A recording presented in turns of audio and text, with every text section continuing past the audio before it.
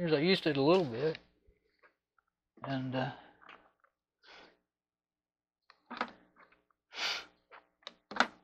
so maybe this will tell it'll, it'll answer my question. Uh, uh, maybe. I mean,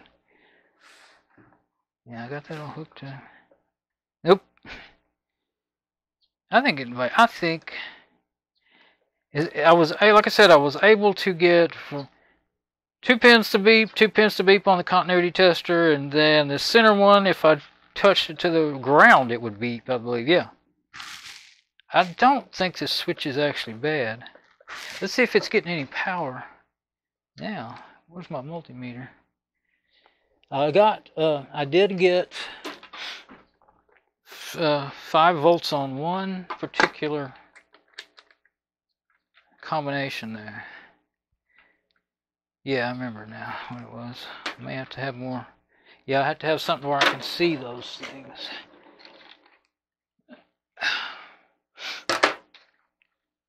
This, I can see them if I turn on the light and look through that.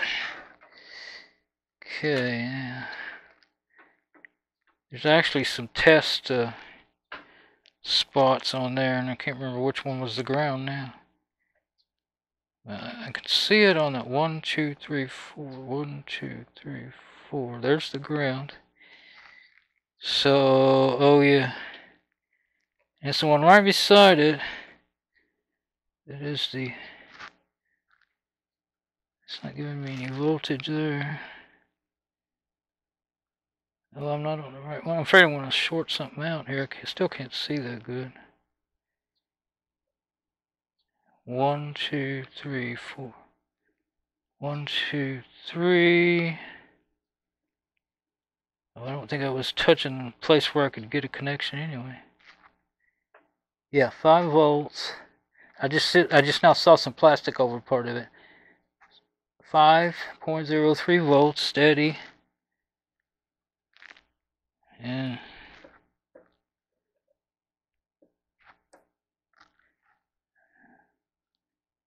And the top of the, I thought the top of the, uh,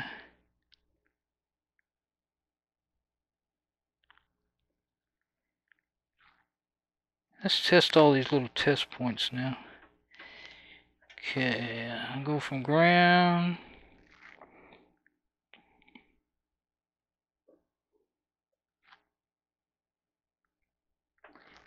Let's go to the next one. Now, just uh, hunting in the millivolts. That's one thing that's really crappy. I don't like about digital multimeters. Uh, you didn't get all this craziness going. It wasn't so slow. An old analog multi uh, multimeter, my old Radio Shack, would. Uh, only thing wrong with the wires are broken. I need to make up some new wires for it. And the screw for setting the zero was lost. It fell out. But it's not too far off. And I can't see it anymore. But uh, it, it, it uh, even if you can't see it, it's not hunting. You know whether you have a voltage or not. It's going to go to 1 volt or 12 volts, or that's, it won't, I think it goes much over 12 volts. But I've got an old uh, car tester, generator tester that'll go up to like 40 or 60 volts. But it was wires were all messed up. I'd kind of redo it. I think I got it to where everything works, but one set of wires somewhere they're shorted where I didn't realize it. One, two, three, four. And they, uh, you really got to be careful with that. Okay, so I don't remember how I. Okay, there's that one all by itself. I can't really. I tried this before. I can't hold the button down and uh, do. You know, can hold the two leads to do any real testing of the switch. I tried and tried.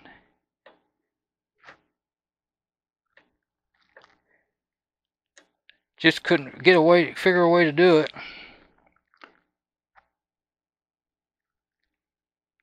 But I did figure out. Go ahead and.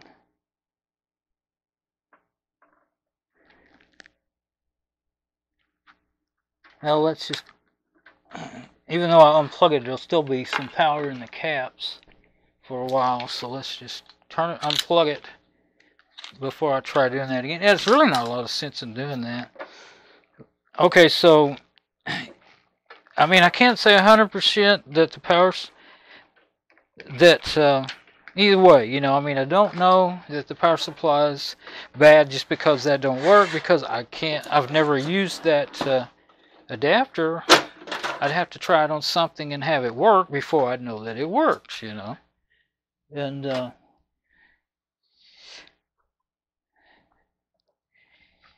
power supply could be just bad. It, it may and, and it may not. It could have went bad because they were running it without all the pins.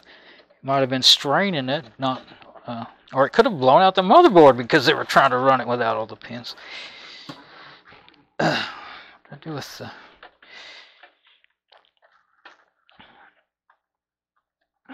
this was I do remember one thing I know about it, and that's why I thought oh, it's probably just somebody got mad at the switch and broke it.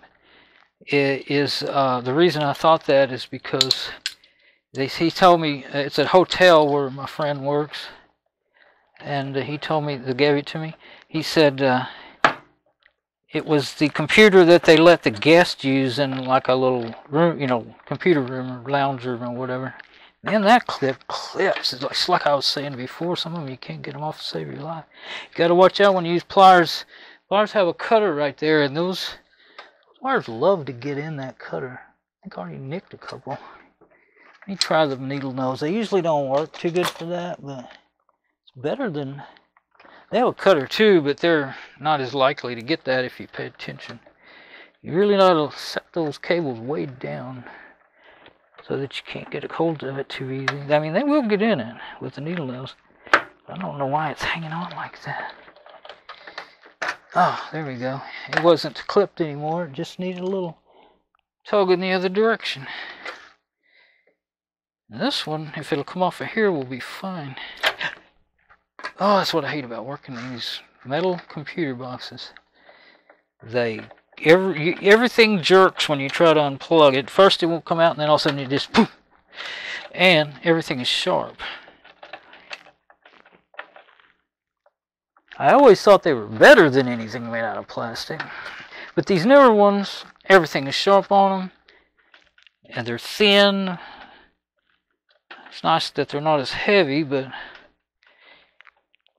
yeah, the only way I'm going to know is if, uh, and I, I was going to look because I kind of thought maybe I have one power supply that uh, I think, I'm sure I have one. I didn't, I know I didn't do anything with it. It was a power supply out of a machine, uh, I can't remember which machine it was that I it was working, but it was in bad shape, and I didn't know it for a long time. I thought it was the operating Windows 7 operating system. It was uh, what's that thing? Anyway, it was a machine. Uh, it's out in the garage now. I think I took everything out of it. The box is still out there, but uh, it. Uh, oh, maybe I had that ASRock. I had that ASRock motherboard in it for a long time and but and it was running. It was never real fast. It was always kind of sluggish. No, it was just because it was a crap processor. Because it was a really low, the lower end AMD is what it was. But uh, when I finally realized that the, I knew it was a very low powered process uh, power supply, but I didn't. Uh, but that was the processor that came with it, so I figured it'd probably be all right. But it wasn't all that all right because it wore out prematurely. It wasn't that old a machine. It was eMachines. That's what it was. And of course, they were famous for failing. And uh, bad cap syndrome. I think they're the ones that invented it. But uh,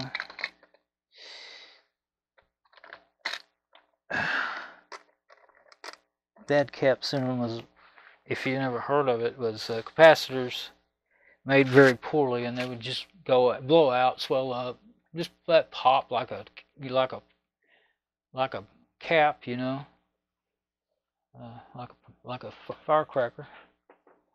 And uh, yeah, that motherboard had oh about five or eight bad caps in it, and what my neighbor it was my neighbor's machine, and I uh, she was she was um, I ended up she was kind of she said she'd just rather buy another one, and I kind of I was helping her and and uh, you know they're pretty expensive desktops, you know, where they are now, and I, I said, well, I could build you one for about a whole lot less than that.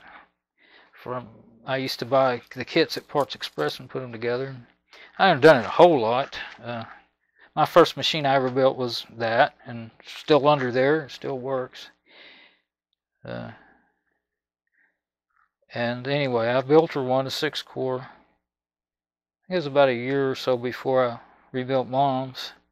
The thing with mom's is she still hasn't been able to use it because I, I ended. I, I was telling you how I didn't in the previous video. I think how I didn't like that the with the ASRock motherboard, fine, great, but with the 8300 processor, which to be fair is not listed to even work in that, it that motherboard was made several years before that processor was made. You know, was came out.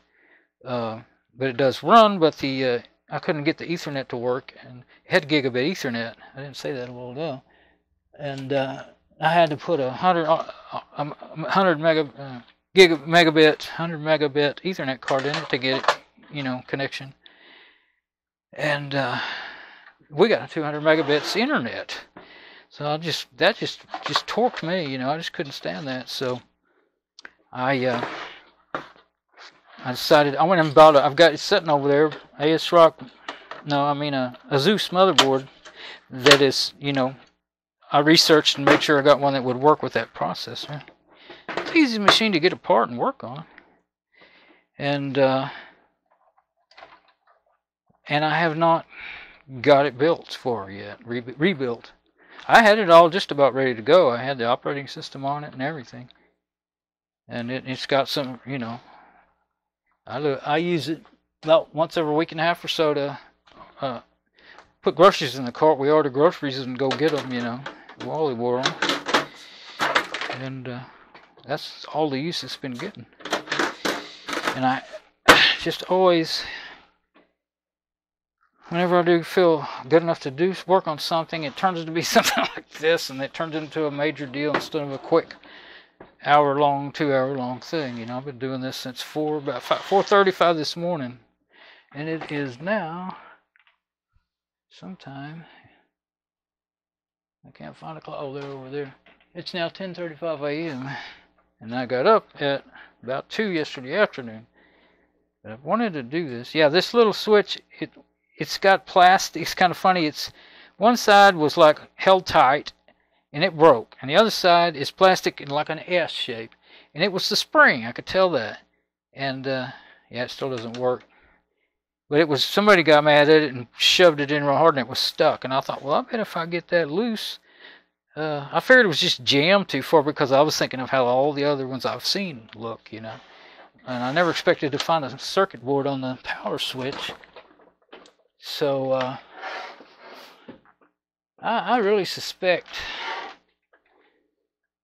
I mean, I could take this power supply out and put it in some other machine that I know works and see if it's any good, but I'm not going to do that now. I was just thinking this would be the, it's a nice looking box, and it's the newest one of the ones I've got out there in the garage, I think. It's not, it looks newer.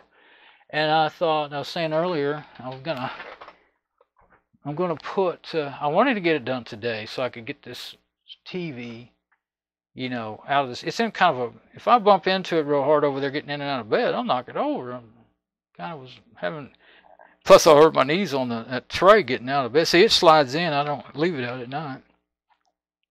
I didn't hit it last night, but I'll leave it there very long. I'll, I will definitely run into it. But I want to put. I'm going to try it up high because the way I lean way back in my chair, that actually makes me look straight at it. And leave this one right where it is, the little one right where it is little it used to be big, it's 23 inch. But anyway, I'm going to set the legs on top of two computers. There's one already over there, and I'm going to clean that out and put one over there and get that laptop out of there and put it somewhere else. And and this was, I thought that's one I could put in there and just leave it there.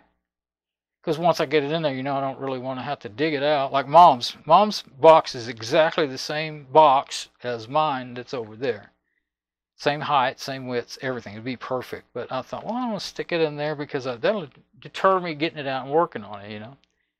And I still don't think I will. I, my my uh, blue FIC is what I call it. Is uh, it was made by First International Computer, and it is good. There's no bad caps in it. Uh, they called it American-made, you know, system, but it was, you know, I mean, they didn't make the electronics, really, make any of it. I don't think. Maybe some of it. They got the parts from, well, at least I think they got them from Japan, not from China. There was one thing that wasn't good about it.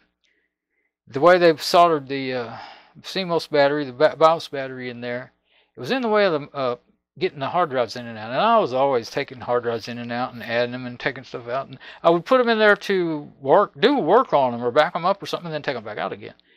And uh, you'd always end up on that. You know, there's it has like four or five trays in there, but I uh, maybe not that many. Yeah, it's got one, two, three, four.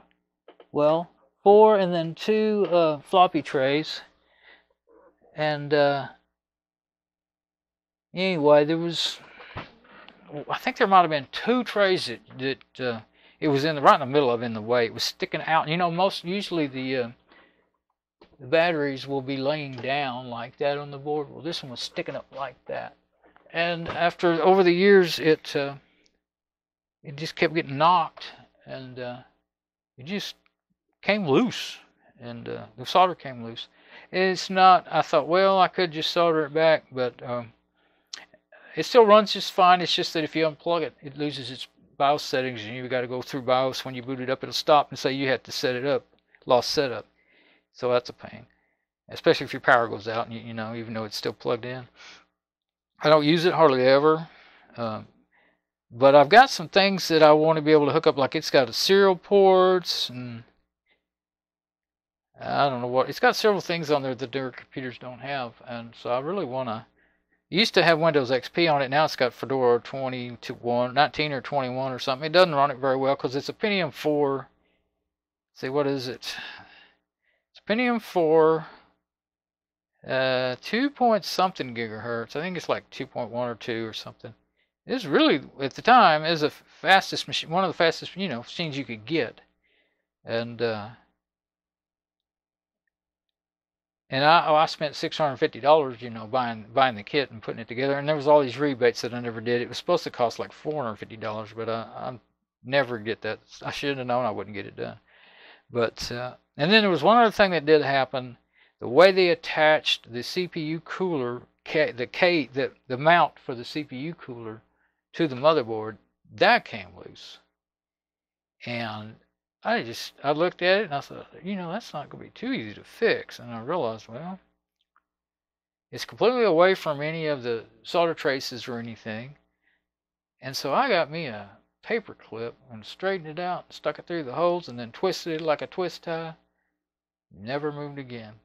uh, and it wouldn't matter if it touched the case. I think I made sure it didn't touch the case, but it wouldn't even matter if it did. It wasn't touching anything electrical, you know, any any circuits.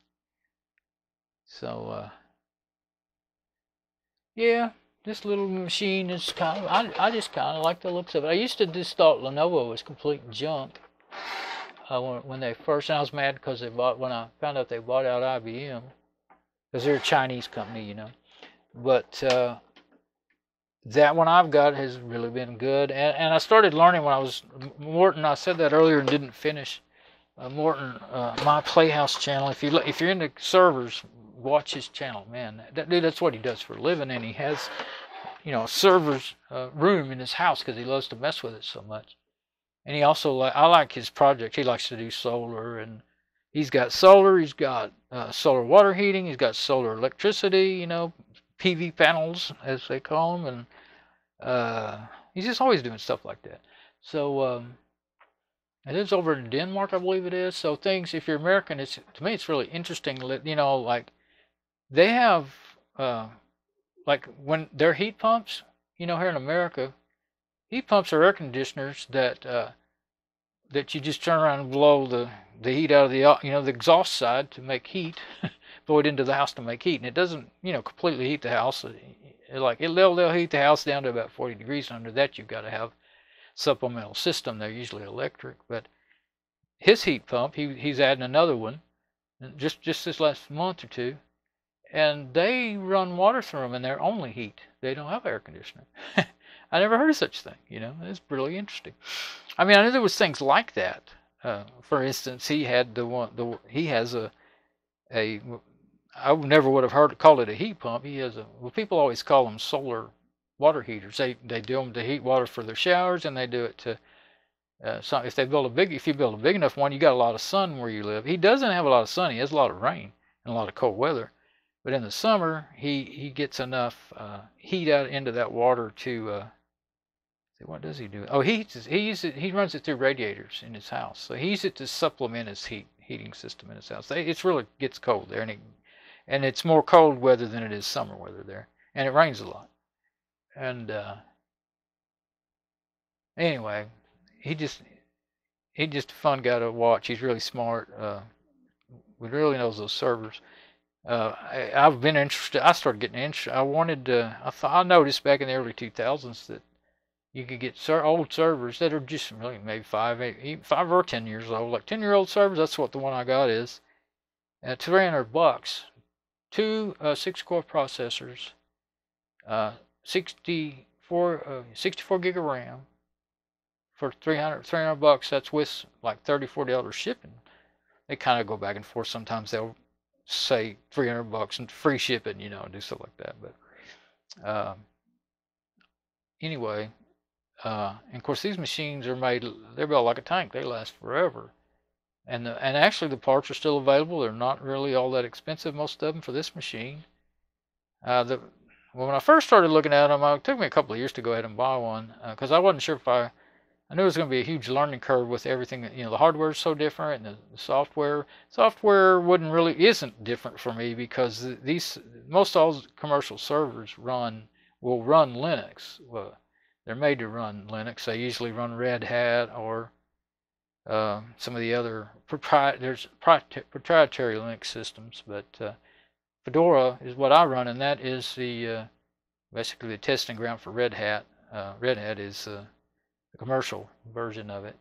And uh, I've been running Fedora since 2005. And when the, the instant I tried it, I never wanted. I, I kept Windows machines around, but I never used Windows as a daily basis since then. And uh, so much better, on all that virus problems and everything. You still have to nowadays. You get to watch out because there are there is malware that can you know get in the Linux system. You still have to be careful. But um, it's nothing like Windows or Mac either. You know, people they Mac Mac won't admit it when they have a problem, but uh, so that's worse than uh, that's way worse than Windows because Windows would jump and, and and send out an update, you know, to try to mitigate it. Uh, uh they were slower years ago than they have been in the last well, I guess last ten years. They've really gotten fast at it because it's such a you know it's become such a big deal around the world. That's uh, yeah, you you disappoint me, little machine. I I kept thinking not to mess with it until I had extra time. And it kept coming in the back of my head. I'd be just just, just look at it. It might be might be just a thing. It might be. Uh, I still didn't look up. I'm gonna look. I'll. I'll I'm just rambling, so I won't. Uh, I, I don't know. I I don't think there's a lot of point in me looking up. I could. Where's that number? I really would like to know what that processor is. It doesn't take long to find information on processors. But I think that uh, my server's running. Let me turn on the TV. I mean the monitor. And I can just look. Well, I have to plug in my USB. That's no big deal. I just got me a long cable with a female end on it, and then when I want, I it's the first time I've ever unplugged it since I set it up. But I can do that. I can unplug that, and then I've got my can use that to position on my KVM switch for uh, other machines. It doesn't have to be on the server.